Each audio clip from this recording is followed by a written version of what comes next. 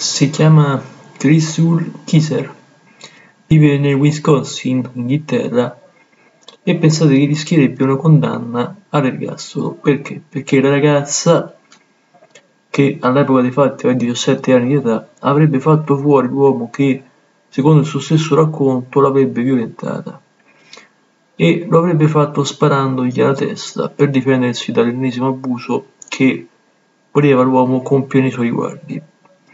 Questa ragazza la protagonista, l'uomo si chiamava Randy Volar, fu fatto fuori nella casa di Kenosha.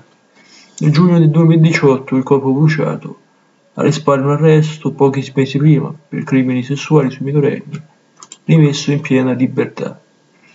I due nel 2016 erano conosciuti e ecco che poi, diciamo così, ci sarebbero stati diversi casi come episodi di abuso sessuale. La ragazza avrebbe detto mi ha drogata, voleva stuprarmi. La ragazza però adesso rischia il carcere a vita. Un saluto caro da narratore al prossimo video.